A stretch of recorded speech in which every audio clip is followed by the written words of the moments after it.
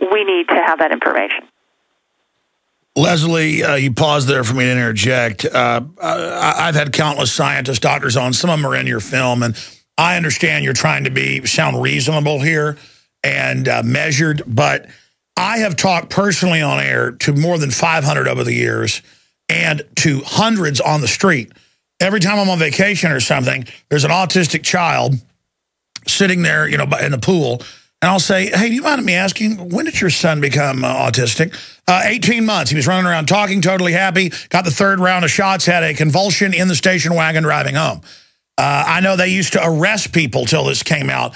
When they would take the shot and they would collapse, sometimes in the hospital, they'd say, oh, you must have beaten them. They had blood on the brain because of an autoimmune response. They knew full well what they were doing.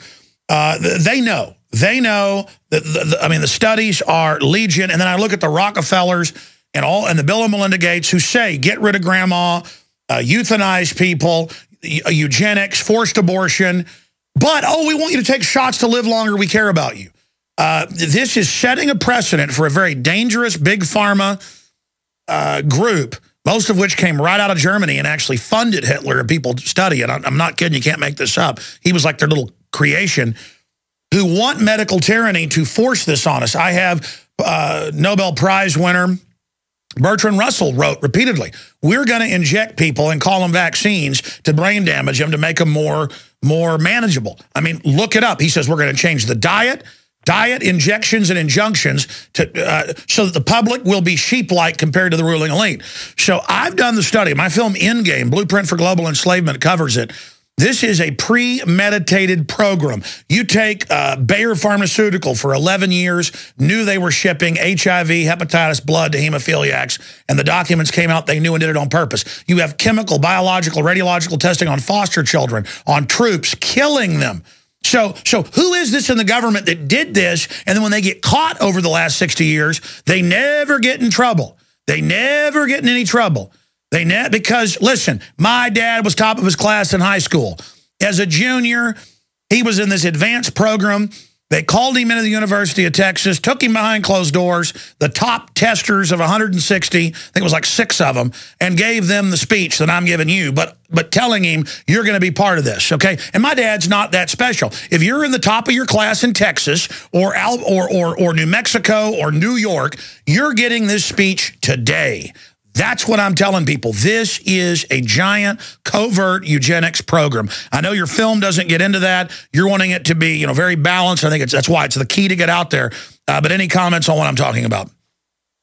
Well, first of all, I think uh, I would just comment that I actually am from the system. You know, I went to one of the best universities in the nation, and I got an MBA from the University of Chicago, and I worked at Goldman Sachs for a period of years, and then worked in finance for 13 years. And I witnessed firsthand a lot of um, um, overt and some not so overt corruption. I actually had the CEO of a pharmaceutical company come in and tell me that their blockbuster drug that they were about to release um, was showing that it was causing death in some of the patients it was treating, and that the FDA was going to make them put a warning on their packaging because of this. But the good news was they still thought they'd be able to do seven billion in peak sales.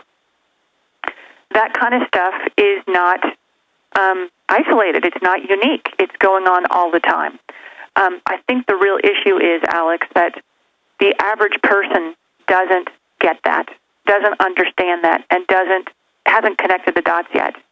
And so I, you know, I come from a place of wanting to educate people and bring them into the fold as easily as I possibly can. And this is such an emotive issue that if we are too frightening, um, too frank, um, then I really worry that the message gets lost. And so, you know, I, I have a lot of um, sympathy and uh, appreciation for all of the things that you just said. And um, but I think when it comes to the issue of vaccines, that it's uh, we will do um, much more to further the message and bring more people into the fold to understand that they should want to um, have freedom about what they put in their bodies and to make these choices um, than by being more you know, uh, um, inflammatory, I guess. And given that we are having a huge impact, there was a, a report just last week, maybe the week before, that um, the federal government studied up um, the vaccination rate in Portland, Oregon, and found that in the last five or six years, I forget what the exact period was, but it was in a recent period in the early 2000s that the um, non vaccinators rose from 2.5% of the population to 9.5% of the population. No, that was in, uh, I think, the Sacramento Bee two days ago. Yeah, and it, has been all over the place for the last couple of weeks, but this, the place that they studied was Portland, Oregon. And my point is that that, that one city has seen the number of people not vaccinating go from 2.5 to 9.5% in the last several years. People are starting to wake up to this. And in order to bring more people in, what we really want to do is change laws. What we really want to do is help is wake people up. What we really want to do is empower people. And we strongly felt as filmmakers that we do that by not beating them over the head, but by helping. Them. No, I agree with you. I, I mean, I agree with you. This is something for the Joe Schmo out there questioning. Uh, Leslie Manookian, again, the writer and producer of The Greater Good, available at InfoWarsShop.com or their site, GreaterGoodMovie.org. I can tell you, I've seen the film, great filmmaker for somebody that I hadn't done a lot of media before. I can tell you had a lot of passion for this, and, and it's a labor of love. Uh, what woke you up to this is a good question. Uh, the, well, you know, like I said, I was working on Wall Street for a long time, and I had that experience. I mean, I was I, I headed up Alliance Capital's European growth portfolio management business in London for a period of years, and it was my job to interview CEOs of multinational corporations. And um, for many years, I would sort of witness this stuff, but not really. It didn't really hit me until that CEO came in and told me that he was going to do seven billion in peak sales and kill a bunch of people in the process and I just realized that I was playing for the wrong team. And shortly after that, I met a man in London who told me that vaccines could cause harm. And I literally thought the guy was nuts.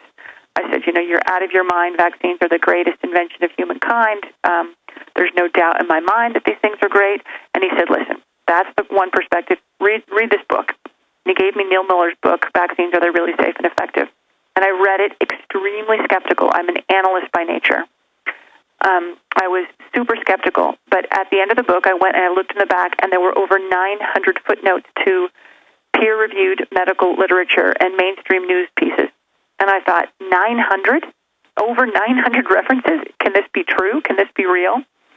I didn't want to believe it, but I committed to myself right then and there, and this was about 11 years ago, that someday I was going to make a movie on this, and I was going to go and do my own research, read the science myself, and go and look these people in the eyes. Look CDC and FDA and vaccine developers and patent holders in the eyes and ask them myself, what's really going on here. And, and, and you've done that, and they look scared when you're talking to them. You've hit a home run, the greater good. Again, get this out to everybody. In a little bit of time we've got left, I want to go back, though, because I'm guessing, because I've had experiences similar to this, where you thought, oh, he's joking, I'm going to make 7 billion and kill a bunch of people. But I've interviewed genetic engineers who were making $3 million a year. They're like, hey, this potato is sterilizing the rats, but we're, we're getting it approved. And, the, and, the, and they're like, yeah, there's too many people. That's, you know, that's really the plan. And then they think it's a joke, but then it gets approved.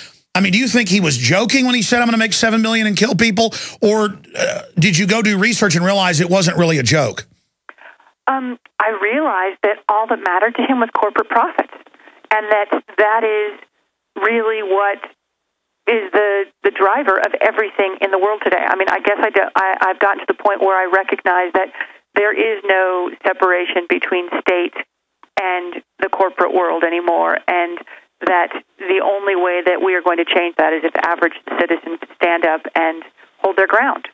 And this this was the first um, step for me in that process, making this film to empower people so that they could stand up for themselves, so that they could go to the lobby in California and say, we're not going to support this bill that they've got in front of California now that'll require every person to get a vaccine exemption from a authorized medical provider every single year. You know, I just I I recognize that this guy was just delusional, but that not just he was delusional, but was so were all the other people who were part and parcel of it. Well, well, listen, uh, Leslie Manookian, You've hit a home run. I want to get you back on the nightly news. We can do uninterrupted, uh, long interview or anybody else you want to invite and get you up on Skype. Great job with the greater good. God bless you. And with people like you out there, we're going to defeat this tyranny because the special interest coming in now, and being able to lobby to make us take their products, it's true tyranny. Thank you so much for your work. Thank you so much for having me, Alex. I am so grateful. No, we're grateful to you. A lot of children to save. American gardeners and fellow patriots make the right All right, here's what I'm going to do. I'm going to start going to your phone calls for about 20, 30 minutes for those that have been holding. I want to hear from you, all the interesting points you raise, and then I'll continue back into the latest on Fast and Furious, and it is big. This this is shaping up. They may actually bring Obama to justice.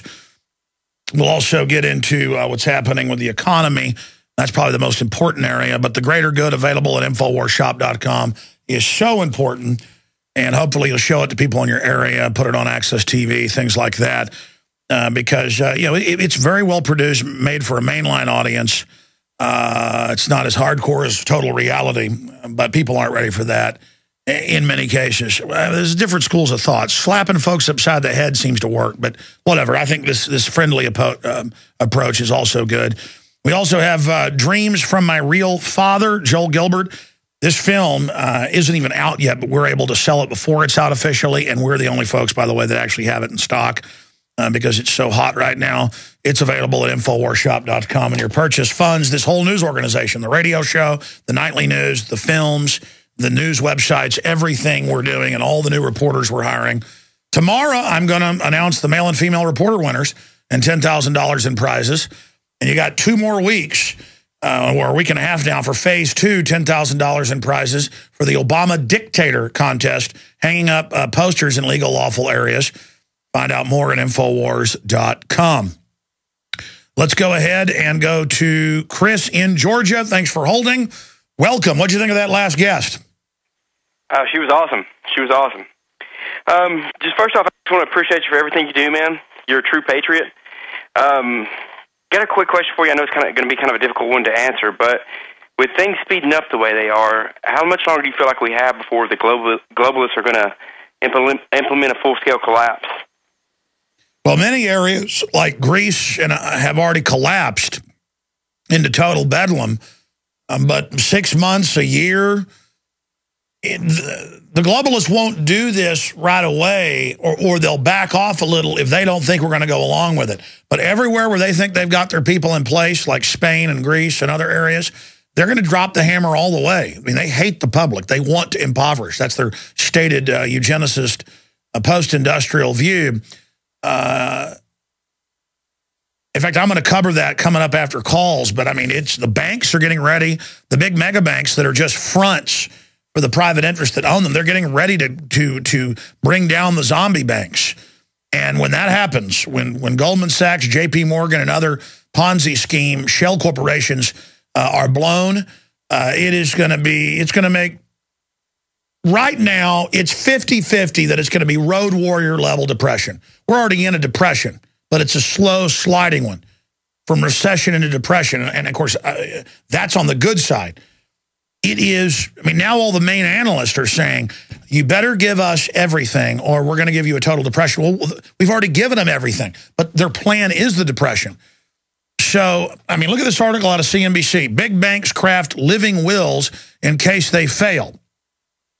And then here's another one, avoiding a global catastrophe. Larry Summers, who helped engineer all this, and he talks about things completely melting down. Well, I mean, it's mathematically impossible unless we write off the trillion, the, the 1.5 quadrillion, 1,500 trillion, even hard to say that number, unless we write all that off, and unless we explain that's not our debt and arrest all these people, they're going to bring us into total global collapse that they're going to organize and pose as saviors with the prostitute, Decepticon, collaborator, Vichy French media telling us they're the saviors.